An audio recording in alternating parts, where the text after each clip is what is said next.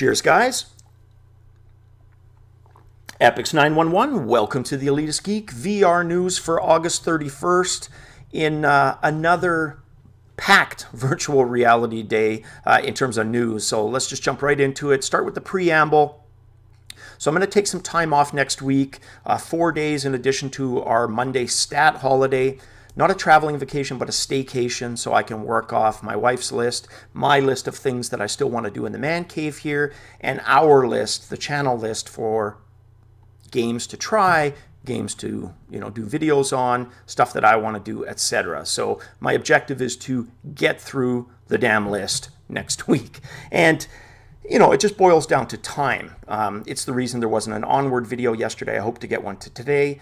Is uh, you know, after I did the news video, watching with my wife uh, American Civil War, finishing that off, uh, Avengers, I mean, and you know, just made the made the choice that look, Damaged Core I could finish realistically. Um, onward, I still wanted to finish the tutorial, which I still haven't done. I'm gonna do that after this before I feel comfortable about jumping in. But uh, that that's the objective for next week. So now the um, other thing is uh, questions that I've been asked. So it's quite a few uh, with regards to Damaged Core.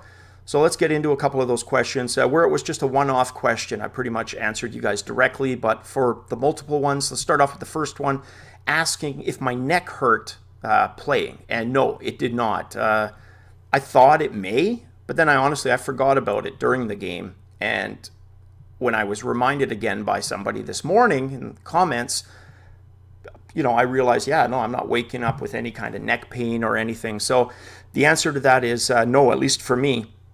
If it gets more frantic, possibly, but the game seems very intuitive and paced. It's nicely paced. You're not jerking your head back and forth like crazy. There are times you're moving it quickly, no doubt, but you're not spazzing your head about, you know, uh, second after second, right? So yeah, no, to answer that question. Uh, and then the kind of mixed in with that was how was head targeting because it uses you know your head for targeting, right? And uh, same thing, intuitive, paced well. Personally, I didn't have a problem with it. Long term, not sure. We'll find out, and I'll let you know. And then the uh, the last multi question had to do with uh, the multiplayer if there were a lot of people playing it or were the servers very empty. And uh, no, they were packed. So there were tons of eight, uh, eight out of eight games, a lot of uh, one to seven out of eight, you know, games that hadn't started yet or had people drop that you could join. And then the ability to host your own, of course, right? So at least, and that kind of makes sense, is day one. Let's hope it holds, right? But so far, yeah, no, no issue with multiplayer. And, uh, yeah, that that's basically that's basically that. So uh, it's definitely a game that I'm going to play more because yeah, the other questions obviously you know did I like it very much so, and I'm going to go back to it, but want to do some time with Onward and that first, probably on my Friday gaming night when the holiday starts. That's when I'll get a lot of that playtime in, that extra stuff, and go back and revisit some of those. So there's a, a game I talked about from Sony called Rigs, and it's the mech game. Well, this is kind of similar to what we were just talking about. That's why I opted to talk about it here in this segment. And that is that it's not just multiplayer. So in the trailers, that's what they seem to emphasize, right? But it will, in fact, have a campaign mode. So there's a single player element. And I love that, right? Um, I like multiplayer games, but I got to be in the mood. Sometimes I just want to do my own thing, right? So having a choice, having a campaign mode, terrific. I think that's great. Now, the there's a, another game out called Detached, and that was also launched today. I've had a few people uh, ask me about that game. It's basically, it looks like Adrift. I haven't tried it yet, but I probably will. And it's survival, survival Adrift style, right? But um, yeah, it's also early access. It uses a jetpack. Uh, I'll find out. It's apparently it's smooth movement. If I guess I'm a pretty bad candidate for that because I don't get the nausea, but I can at least confirm what the movement is like, right? From what I've seen is it's a little tricky to navigate with the jetpack.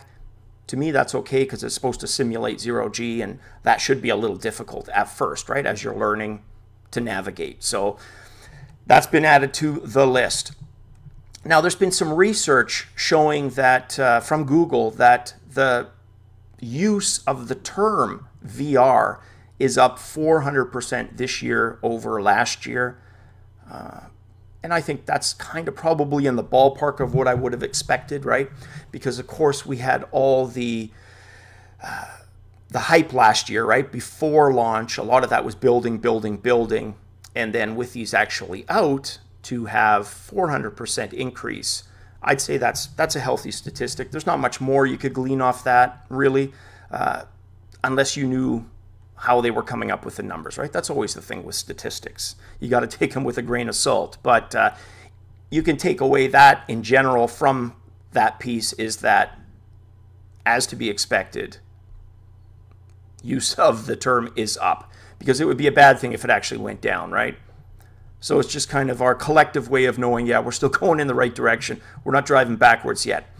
Now, the um, next article was really interesting, and it's uh, a Bulgarian company named Quark VR. They were former, uh, formerly in IntuGame, I believe is what their name was, I-N-T-U, like a play of Into Game.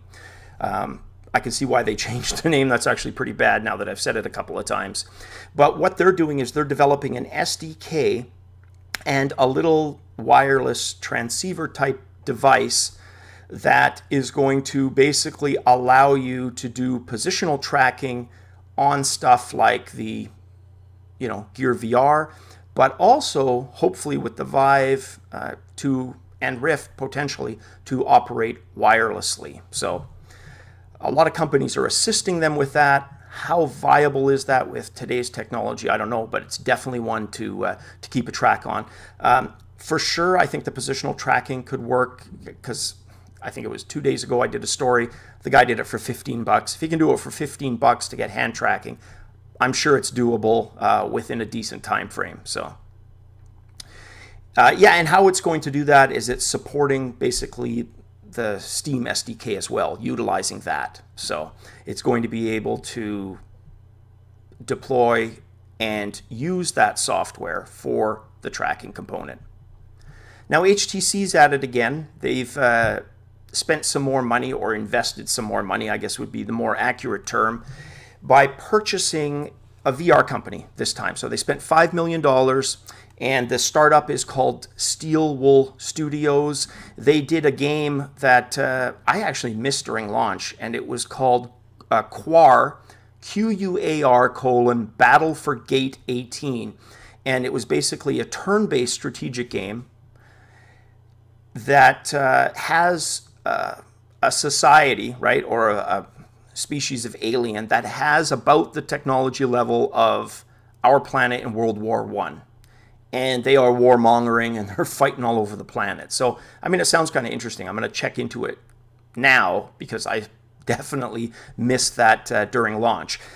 Second title, the one that they're working on right now, involves Mars, the red planet, and uh, a VR on its surface. So that looks interesting. And you know, with with them being in other areas, you know, they're fairly diverse. Uh, it's still comforting that they're investing this much into virtual reality and not just throwing all their eggs in the HMD basket. They're spreading it around into different areas of VR. You know, if it continues kind of unabated, yeah, I suppose we could get into the oh my god, they're like overextending, overreaching, over acquiring, you know, acquisitions out of control. But so far, I think it's been fairly measured, right? Fairly calm and manageable. But we'll see. We'll just keep tracking that moving forward. But right now, as a Vive owner, it makes me feel comfortable that look, they're diversifying a little bit, but a lot of that is happening within virtual reality. So, within the market of it, anyways, right? Next one was a bit eerie, and it has to do with it's not a taboo discussion topic, but it is something that some people just aren't comfortable talking about, uh, especially in kind of Western society, and it's the concept of death, euthanasia. And like I said, it's not a political channel. I'm not going to get into the what I think of that or, or this and that of it. I just wanted to mention the story and relay what they are trying to communicate. So they is director Avril Furness, and at a uh, conference in uh, Amsterdam, they are basically showing a 360 degree short film. And it's a dying husband, he's on his deathbed, wife with him, she's very distraught, and it's kind of the final moments, right? Final minutes of his life. So that's a pretty damn heavy, somber topic. So links below if it's something you want to explore a little bit more. I'll kind of shut up there because I don't want to, you know, depress anybody or or kind of make it all gloomy. But um, hey, the reality is we were born, and the reality is we will die at some point, right? All of us. Like it's just when is the question. Thinking about that, yeah, some people, and understandably, they're just not comfortable with it, right? Uh, even though it is a reality. Next news story has to do with Apple computers. And, you know, for as as savvy as Apple can be, there's always deficiencies still, right? And that's with any company. So even when they were riding the the crest of, you know, being one of the top companies in the world, you couldn't you could point to them in other areas and say, "Wow, they're not even close to being a market leader," right? The big glaring omission for all their desktops, laptops, was gaming. Gaming completely absent, uh, you know, in terms, well, there's few exceptions, right? You're either putting your PCs or your Mac into, you know, a multi-boot type mode, loading up Windows, playing one of the fewer games actually ported or created for the Mac. You just don't have the choice, is what I'm getting at, right? So, and that's in, in other areas as well. They filed a patent just recently, and it shows what looks like a pair of glasses, HMD style. We've seen it on a couple of other ones. There was a story that I did about a Kickstarter. Uh, pretty sure my BS radar went off with that one. A lot of times, what these companies do, like Apple, most of you probably know that already, is just cover your bases, right? Create patents for anything you talk about, work on to either avoid or initiate future lawsuits, right? and it's the old uh, CYOA, right? Cover your own ass, um, as opposed to they're actively going to develop it because you could take any company, look at their patents and their stuff that's never going to see the light of day, but it always may. So this VR device type thing, who knows what the purpose of that is? Probably one of the points I just mentioned. But if it is VR related, that would be cool. Um, how do you guys feel about Apple joining that? Would that be a bad thing? Would that be a good thing? I'm kind of undecided on that. I've had Apple products as an IT guy. Obviously, I'm PC centric because that's what I use at work. Uh, that's where the business software that I need to run can run on. And uh, gaming is my hobby, and PC is best for that, right? So, yeah, just curious. Curious what you guys think about Apple and VR. Is it a niche they need to get into? Last news story deals with yet another VR locomotion device. This one looking a lot like the Omni Virtuix device, right? Which is that larger treadmill device. This one is ROVR or Rover, you know, um, as a pronunciation. And it basically looks like the Omni, except a more aesthetic, streamlined version, right? It looks like it weighs a lot less, and apparently that's what the company said that it does weigh less. It is rounded by design more than the square columns that the Omni uses. And just in terms of how they're handling it, right? You're not strapped in for starters. You are wearing your shoes but putting a tracking collar over top. So it sounds like they've got a much more kind of refined uh, elaborate approach to it, right? How successful are these guys truly going to be, right? And I've said that on videos as well that look, we got to keep innovating. VR has to keep innovating. We need them to be actively pursuing this stuff. But does it make the most sense to come to market now, right? Well, a lot of these companies won't have a choice because you know, they've been banking all that R&D they need to see some kind of return on that. but that's always the concern. If it doesn't launch with a peripheral, how compatible is the device going to be, right? Are devs going to want to write for it if there's so little critical mass, right? And support out there for the device. So my feeling is that these types of devices are going to figure more into the next generation of VR as opposed to this one. But, uh, you know, depending on how they handle it, maybe it doesn't even have to be written directly. And that kind of seems to be the approach that they're taking. They're leaving enough open endedness in the SDK that it should be fairly easy, depending on the style of game, for people to mod the option in, or even the devs to patch the option of the rover into the game. But we'll see. That will be a question that for sure will get answered, like with most of the questions we ask about VR, simply by waiting and reevaluating in a year, two, three years by seeing who the hell's still left standing, right? And what condition are they in? So there you have it, guys. It is off to games for me, uh, onward, and uh, raw data. So as always, guys, cheers, and definitely, definitely catch you on the flip side.